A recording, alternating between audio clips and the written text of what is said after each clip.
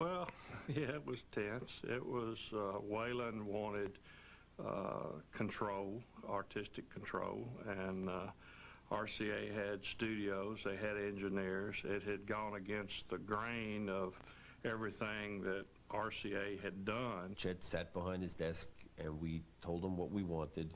You know, it looked like they were going to walk. At one point, uh, Chet said, is, is that your final request? And when we said yes, there was this long, long silence. They're that close to making a deal for me to sign back with RCA. Chet Atkins is over there, and I'm here. It's peanuts right there. And uh, I'm sitting there, and it's getting unbearably quiet because whoever, whoever says something gives in. They lose. That's the way that goes. Everybody said what they wanted to say. It was like a game of chess. It must have gone on for a couple of minutes. Waylon, I could see, was getting anxious. After a while, I couldn't stand it no longer, and I said, what kind of peanuts are these, Chet? And Neil said, shut up.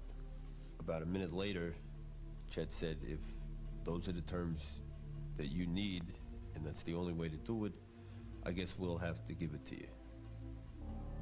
When we got outside, Waylon said, no one ever told me to shut up before. But it worked.